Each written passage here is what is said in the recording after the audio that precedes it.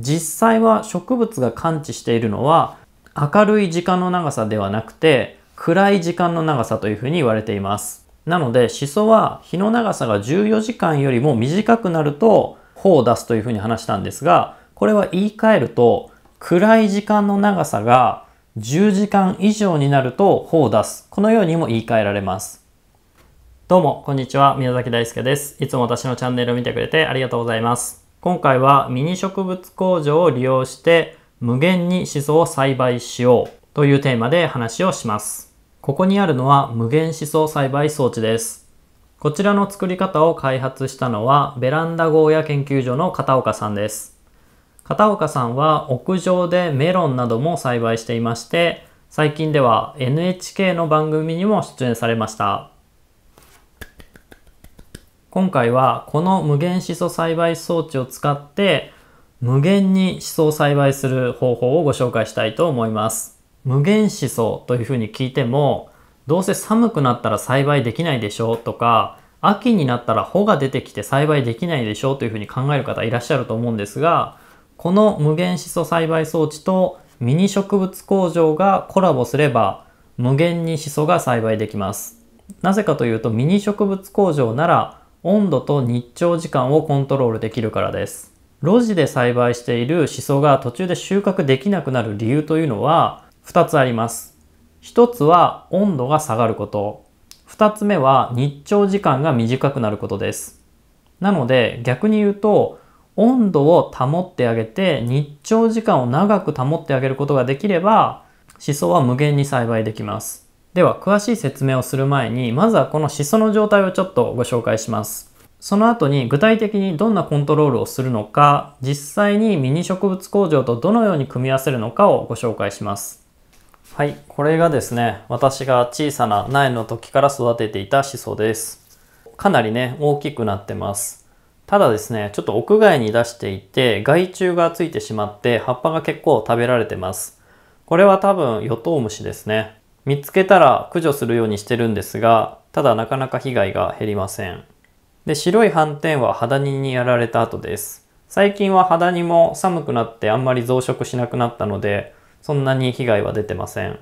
それからですね、根っこがかなり増えているのでちょっとお見せします。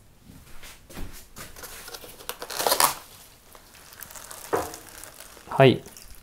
こんな感じです。かなり根っこの量が多いですよね。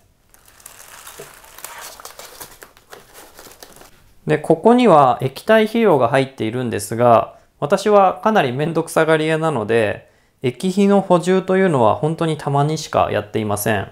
だいたい月に1回ぐらいですね。ただ、水はかなり減るんですね。なんでかっていうと、葉っぱの枚数が多いので、それだけ気候の数が多いんですね。植物は気候から蒸散といって水分を外に出すので、気候の数が多ければ多いほど水分の消費量が多くなります。なので、この水の減りも多くなります。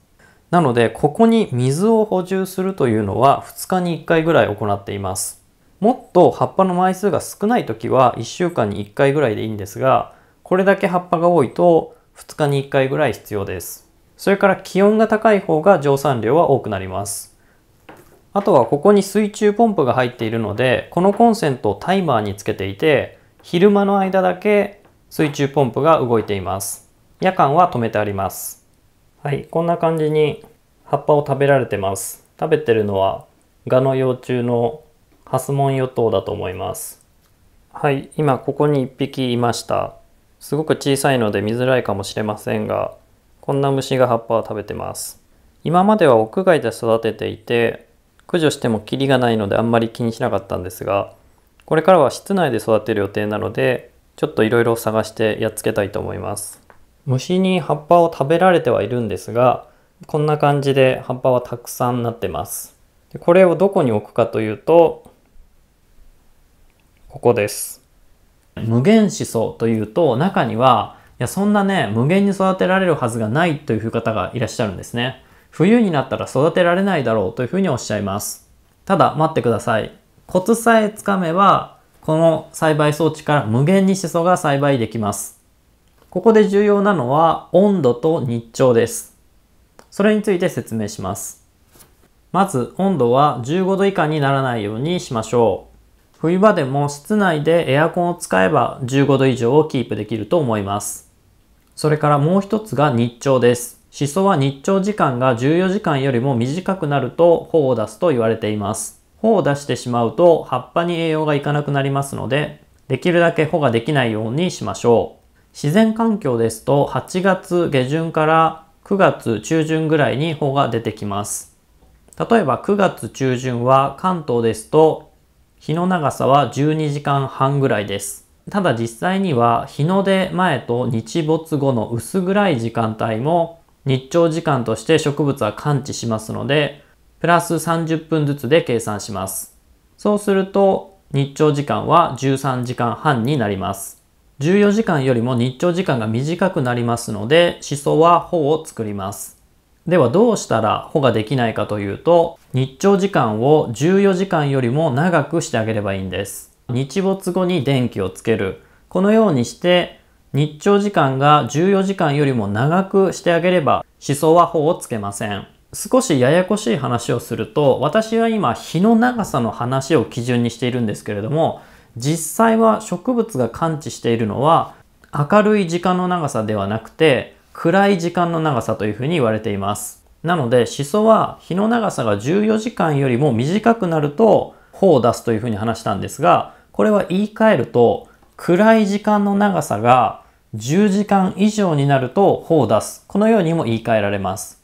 なので、この夜間に1時間から2時間明るい時間を作ってあげる。そうすることで一つの暗い時間の長さを10時間以下にしてあげることができます。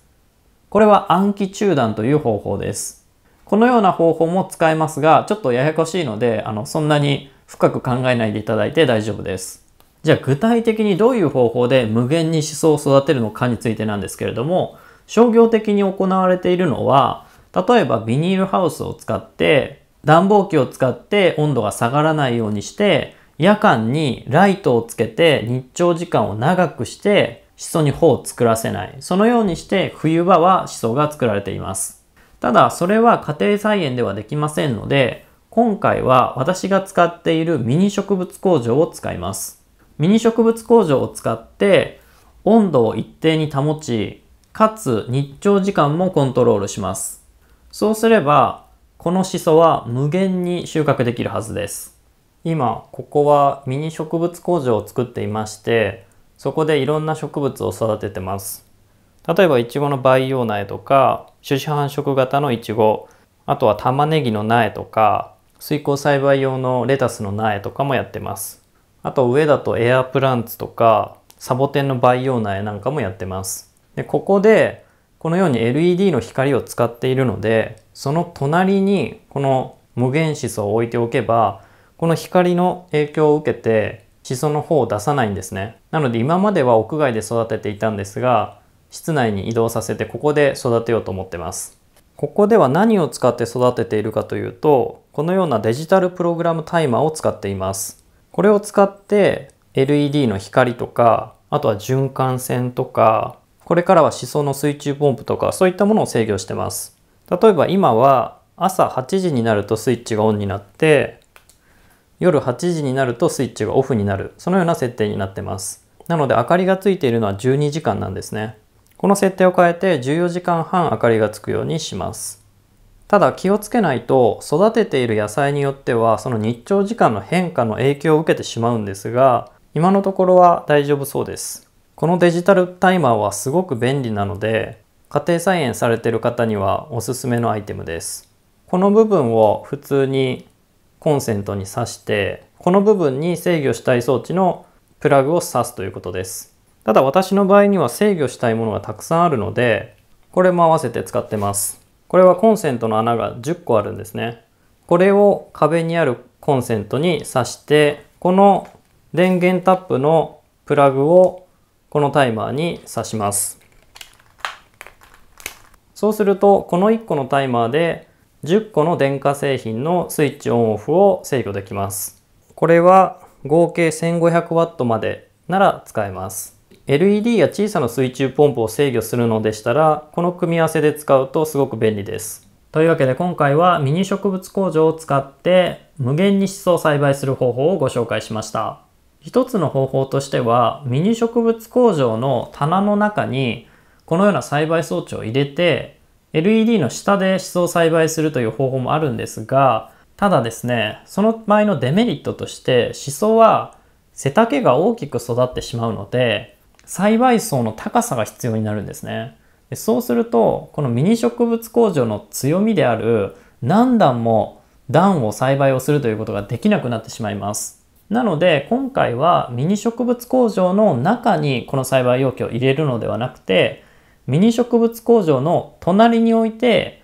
漏れてくる光を利用するそのように考えました。シソはあまり光が強くなくてもよく育ってくれるのでおそらく LED のすぐ近くで光を当てなくてもよく育つと思います。もしうまく育たない場合にはミニ植物工場は今4本の LED を使っているので、そのうちの1本をシソの方に向けてあげるとか、もしくは1本追加して、それをシソ用として使う。そのようなことを考えています。それから日照時間を感知させる光の強さと光合成をさせる光の強さは違うんですね。日照時間を感知させるだけなら光は弱くても大丈夫です。なので LED1 本の光があれば十分です。